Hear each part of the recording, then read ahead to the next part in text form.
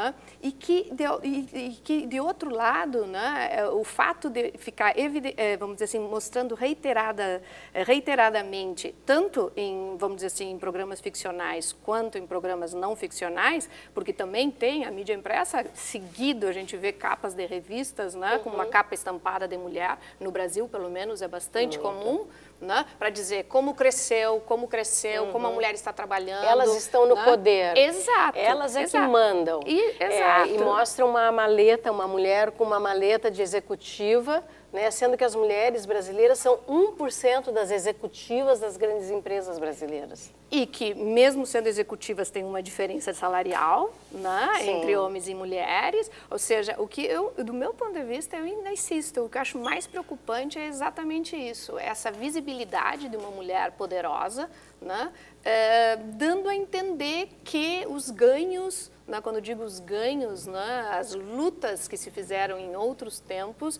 elas já foram conquistadas e que não, há, não é necessário mais, por exemplo, um movimento feminista.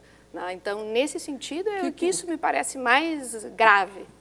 Nesta linha, o que, que seria mais grave do ponto de vista dessa discriminação, dessa continuação da discriminação mesmo que escondida? O que a mídia mostra ou o que a mídia não mostra? Ou seja, o, a forma... Exatamente igual, porque forma, muestra o que forma, quer esconder. Ou seja, a forma discriminada da, da mulher com essas reproduções nas novelas ou o não retrato real da mulher? Las dos cosas, porque está falseando la, la realidad por, por exhibición y por ocultación, ¿no? por las por las dos razones. Esa mujer no solo no existe, sino que no queremos que exista, porque ninguna de nosotras queremos volvernos locas haciendo mil cosas a las que obviamente no podemos hacer, pero que a los hombres no se les exige, porque al gran ejecutivo, que sí existe, no se le exige estar bonito, no se le exige tener una casa estupenda, una familia, eh, los cuidados en el hogar, no se le exige todo lo que se exige a las mujeres. ¿no? Entonces, ni, ni somos eso, ni queremos serlo. Y al mismo tiempo, ocultamos toda la realidad de las mujeres, que lo, habitual de todas nosotras somos mujeres trabajadoras que tienen... ¿Por qué no aparecen mujeres trabajadoras normales? ¿no? En cualquier serie, ¿eh? ya no solo las telenovelas, aparecen los grandes enamorados estos, pero también aparecen hombres que trabajan de carpinteros, de albañiles, de camareros, ¿no? Eh, se muestra tal variedad de hombres de manera que llegas acercarte un poco a lo que es la realidad masculina. Las mujeres no. O sea, las mujeres reales son las que no están. Sim, porque é, as mulheres é, que são ocultadas, né, são as mulheres comuns brasileiras, aquelas que aparecem são mulheres, na maioria das vezes, irreais, que nas novelas, por exemplo, a gente não consegue se pensar um pouquinho, a gente não tem, consegue identificar de onde veio o dinheiro para elas sobreviverem, porque muitas delas não trabalham, uma grande maioria não trabalha, e nós sabemos que a grande maioria das mulheres hoje trabalha, tem dupla jornada, elas são responsáveis pelos filhos, não existe uma, uma rede de políticas públicas no Brasil, mas essa mulher real, verdadeira, essa aí está realmente ocultada. E é essa a grande maioria que uh, poderia ser o grande elemento é, de produzir transformação no Brasil. E não essas mulheres que são colocadas como as grandes líderes brasileiras, mas que, na verdade, elas influenciam muito pouco na realidade cotidiana vivida pelas mulheres. E uh, você falou aqui sobre o movimento feminista o movimento feminista brasileiro como um sujeito político não existe na mídia brasileira. Não existe nem para a imprensa, nem para o entretenimento, é, nem para o espetáculo. Ela não existe em lugar nenhum. Ela só existe quando é para apresentar algum estereótipo eu vou, eu, vou ter que, eu vou ter que te pedir que interromper. Nós estamos com fazer um pequeno intervalo e voltamos em seguida. Te garanto a palavra, te garanto a palavra, Ana. Pode ser? Voltamos em seguida com Mídia em Debate. Estamos de volta com o Mídia em Debate, que hoje analisa a mulher na mídia, com a jornalista e feminista espanhola Núria Varela, com a jornalista e professora Ana Carolina Escosteg e com a jornalista Télia Negrão. Télia, tu estavas concluindo o teu pensamento sobre a ausência dizer, do pensamento feminista eh, na mídia. Era isso? Exatamente. Nós temos hoje, no Brasil, se a gente falar em no Brasil, nós temos uma ausência desse pensamento, como um pensamento que pode ajudar a formar opinião. Eu fui secretária executiva da, da maior rede brasileira feminista, que foi a Rede Nacional Feminista de Saúde, Direitos Sexuais, Direitos Reprodutivos. A sede dessa rede foi no Rio Grande do Sul durante seis anos. Nesses seis anos em que essa rede esteve com a sua sede no Rio Grande do Sul, em nenhum momento eu fui procurada pela mídia impressa para ser uma fonte em saúde da mulher ou outros temas de reprodução e sexualidade. Eu não posso dizer o mesmo da mídia do Rio, São Paulo e Brasília porque, em sendo uma entidade nacional do movimento de mulheres e tendo voz dentro do Congresso, dentro de, eh, das Nações Unidas, de instâncias maiores, essa grande imprensa era obrigada a me ter como uma fonte. Mas, em nível local, aqui no Rio Grande do Sul, eu nunca fui tratada como, é, ou a minha organização nunca foi tratada como um lugar de onde poderia vir um saber ser geradora de um saber. Porque também acho que a gente tem nessa discussão hoje no Brasil do lugar das mulheres para a fala, nós temos um corporativismo muito forte entre as profissões, nós temos um reconhecimento da autoridade masculina na fala e para a mulher ser uma autoridade feminina em algum tema, ela tem que ser, estar num lugar muito acima da média da sociedade para que ela possa ser reconhecida como uma voz.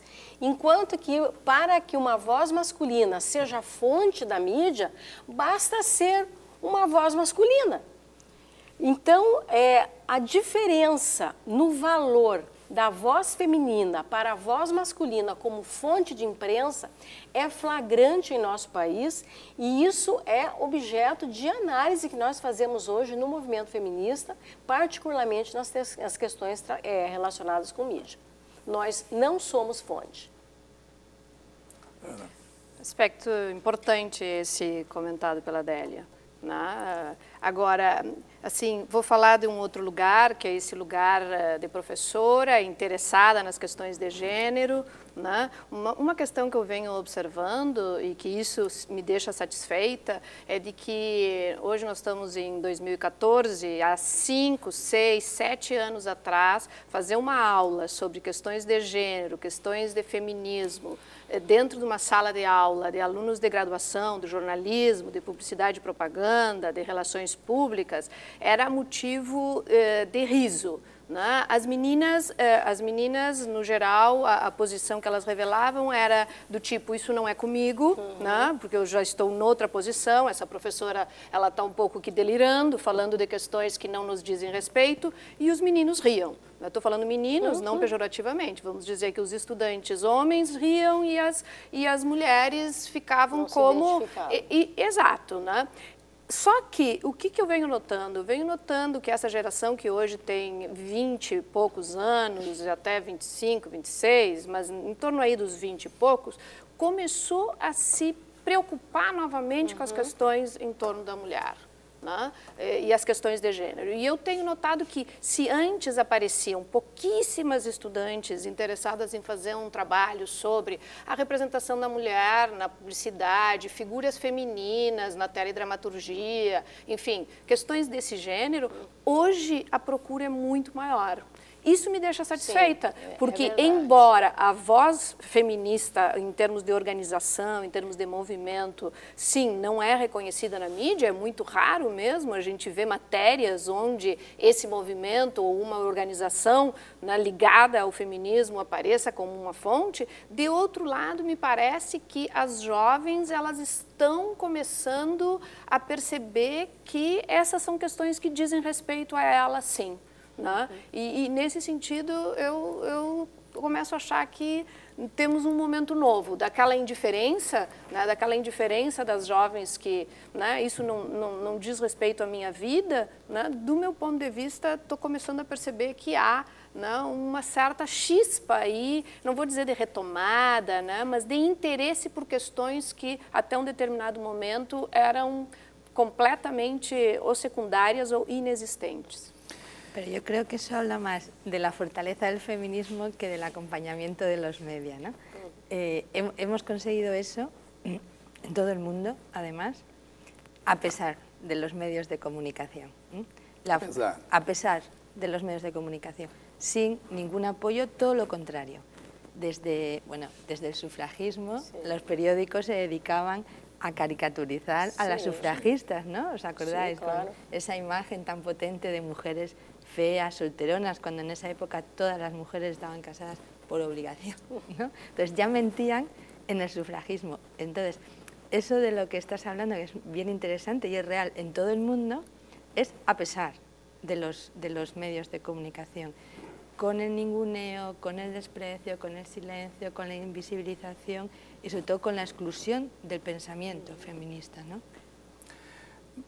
A Núria nos trouxe logo no início que há uma diferença, é, digamos, razoável entre os conteúdos jornalísticos, os conteúdos publicitários e outros conteúdos de, de dramaturgia, ou seja, a presença da mulher a discriminação. Mas percebemos com, também com variações que há essa discriminação e esses conteúdos estão é, reproduzem essa discriminação. São os homens os autores disso, ou seja, é o homem que faz isso, é, a, o componente principal é de dominação sexista ou são interesses econômicos que atuam sobre todos nós de alguma maneira e nos atribuem esses papéis de, de discriminadores e discriminados? O que vocês acham? Eu acho que tem um peso da cultura enorme. Acho que a cultura joga aí é, um papel fundamental. Porque a gente vê, por exemplo, no Brasil, mudanças, é, se, como ó, tá, foi, já foi colocado aqui, mudanças significativas no lugar da mulher, na economia, na educação, na universidade, nos mais diversos campos, no próprio lugar da mulher, na família. Houve uma mudança, sim, nesse perfil da presença feminina das mulheres no mundo público, apesar do distanciamento que estamos nos espaços de poder e decisão. Mas é inegável a participação econômica, por exemplo, das mulheres no Brasil. Agora, o que a gente se pergunta assim, por que, que nós continuamos tendo níveis tão elevados de violência contra a mulher no Brasil, apesar de todas essas mudanças havidas no lugar da mulher da sociedade? E aí entra o peso muito forte da cultura da mesma cultura que ela é reproduzida e mantida por homens e por mulheres. Porque a, as, construções, as construções culturais sexistas, elas não estão só na cabeça dos homens, elas estão na cabeça da sociedade. É um problema da sociedade, não é um problema só dos homens. Os homens têm sido veículos mais fortes né, para é, perpetração da desigualdade. Mas a, a, a ideia é, é, machista na sociedade, a ideia sexista na sociedade, ela ela está penetrando todo, ela penetra todo mundo. Então, por que nós temos mulheres nas redações e mesmo assim as redações são sexistas? Aí nós podemos avaliar bem é porque essa é uma, é uma direção, essa é a posição política do veículo de comunicação ser sexista? Ou é porque é uma diretriz de mercado? Tá certo que o mercado direciona, sim, para uma sociedade ainda dominada pelos homens, uma sociedade que é profundamente é, é masculina no que diz respeito à tomada de decisões. No entanto, eu acho que o peso da cultura é muito forte é, na situação que nós vemos hoje no campo é, das relações sociais, no campo da mídia, no campo da cultura do modo geral, da produção midiática, eu acho que a cultura tem um peso enorme.